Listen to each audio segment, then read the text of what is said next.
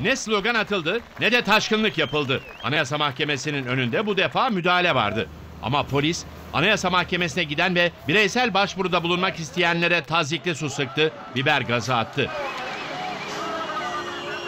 Özgürlük ve Demokrasi Platformu adı altında 876 sivil toplum kuruluşunun temsilcileri yaklaşık 600 bin bireysel başvuru ve dilekçeyi Anayasa Mahkemesi'ne vermek için Ankara'ya geldi. basın özgürlüğü, dershanenin kapatılmaması, yaşama hakkı, zulümlerin ve haksızların durdurulması adına bir e, dilekçe tarzında, bir dua tarzında bir mektup olarak ulaştırmış olduk.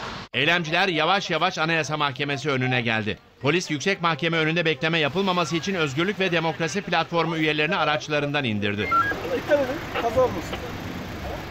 Sivil toplum kuruluşu üyelerinin bir kısmı ellerinde çuvallarla, plastik poşetlerle Anayasa Mahkemesi'ne bireysel başvuru ve dilekçelerini sundu. Emniyet mensupları bu defa da Anayasa Mahkemesi önünde açıklamaya izin vermedi ve farklı bir adres gösterdi.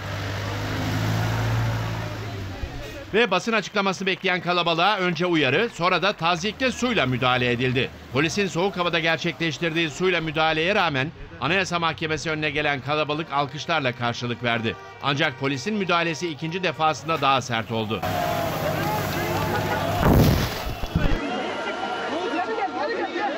Emniyet mensupları Anayasa Mahkemesi önündeki bulvarda açıklamaya izin vermedi ve o müdahale yaklaşık bir kilometre boyunca periyodik olarak sürdü. Olayda gözaltı yaşanmadı. Ancak Özgürlük ve Demokrasi Platformu üyeleri Anayasa Mahkemesi önünden ayrılarak gerginliğin daha fazla büyümesinin önüne geçti.